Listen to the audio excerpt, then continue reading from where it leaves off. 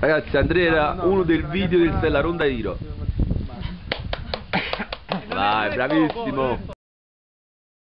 Ragazzi, per chi non lo conosce, lui è Andrea, la nostra guida ufficiale carbonara.